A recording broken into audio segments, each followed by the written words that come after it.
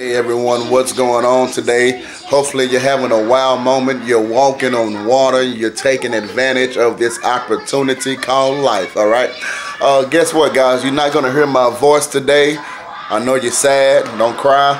Um, but I'm going to let my wife take it from here, okay? She's going to teach us some things about how to overcome public fear of public speaking. She's one of the best public speakers I've ever heard.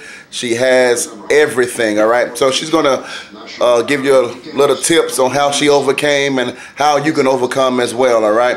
Um, so, baby, take it from here. Thanks, hon. I'll take it from here.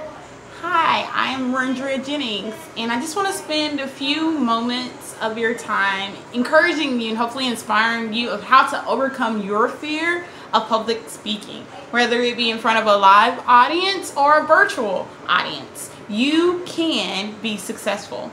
So I have a 3P formula that I will share with you that will erase your fear of public speaking. But before I get to that, I just want to let you know it's okay to be nervous. Most people are. Being nervous shows that you care about what you are talking about. The moment that you stop being nervous is when you should worry. Okay? So figure out what the nervous things that you do are. For instance, you could have a friend record you speaking and see if you say any filler words. The most common filler words are um, you know, like, figure out what yours are and tackle those. And so when you go into recording a video or even speaking live, you'll know right off what you need to avoid doing. Having that knowledge will help you to become more successful. So it's okay to be nervous. And then how can you use that nervous energy to be successful? What I do is channel my nervous energy within so that it can, it can produce outwardly excitement and enthusiasm. How do you do that? Some people meditate right before they get ready to speak. Some people do what is called before speaking affirmations. They remind themselves of why they are speaking, why the message that they are getting out is so important. And that affirms in their minds. That gives them a, an extra boost of confidence. Oftentimes, I even pray before I speak so that I can make sure that my message is delivered successful. Find successfully. Find out what works for you and then use it. It may change every time, but use something to help you channel the energy. So right off the back, you know it's okay to be nervous. People appreciate that, okay? Because most people are nervous. And your audience wants to know that you are human just like them. It's okay to be nervous. Channel that energy. Now let's get to our 3P formula of how to erase the fear of public speaking. Now, of course, there is a lot more that could go with this, but I've reduced it down to these three points to help you get started today. So first off is passion make sure that whatever you are speaking about, whether it be your business, whether it be a topic that you just want to get out to the masses, make sure it's something that you yourself care about.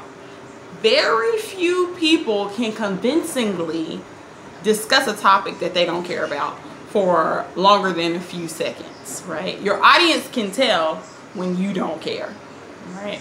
So make sure you are passionate. That same nervous energy I said to put within and then let it exude from you in the form of excitement. Do that. Let passion permeate. That means let it flood your video.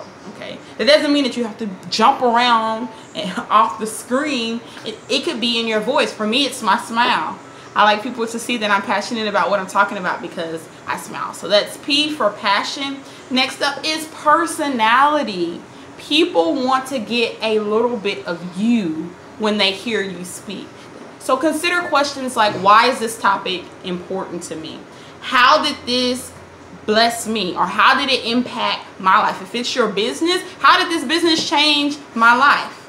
Right? That's what people want to hear. That's what will reel people in to you or your business.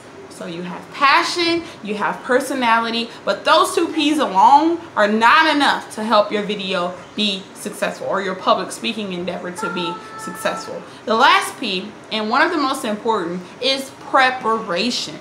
Right? Freestyling is for rappers. Leave it with them. If it's as simple as writing a few notes down, a few bullet points of what you hope to discuss, your audience will appreciate you looking down at notes from time to time because that shows them that you prepared. You cared enough about your topic and you cared enough about your audience to prepare in advance. Practice, practice, practice. Practice doesn't make perfect, right? And again, your audience doesn't want to see somebody perfect because they're not perfect. Practice makes permanent. The more you get out and you speak, the better you will become at it. So make sure you practice, jot you down some notes. There are a number of ways you can research to figure out what works best for you. My husband and I both use outlines to help us while we're speaking. That may work for you. I like to reduce my outline to even less with bullet points. That may work for you. Find out what works and use it. So there you have it. You have the 3P formula to help you be successful with public speaking. Infuse your speech with passion, personality, and make sure your audience knows just how prepared you